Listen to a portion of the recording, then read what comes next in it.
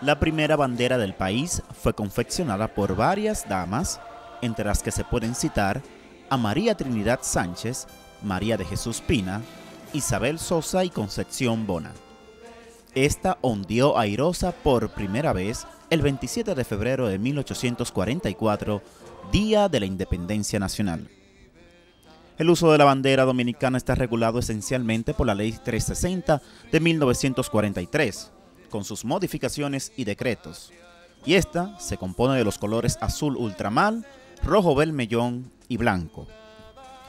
Los colores y el simbolismo de la bandera nacional está compuesta por el rojo vermellón, que representa la sangre derramada por los patriotas en las batallas para conseguir la independencia, el azul ultramar, que representa el cielo que cubre la patria y a Dios que protege la nación dominicana, y el blanco, que representa la paz y la unión entre todos los dominicanos.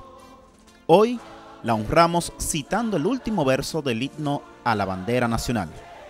Mientras haya una escuela que cante tu grandeza, bandera de amor, flotarás con el alma de Duarte, vivirás con el alma de Dios. Para Super Noticias, Ernesto Rodríguez.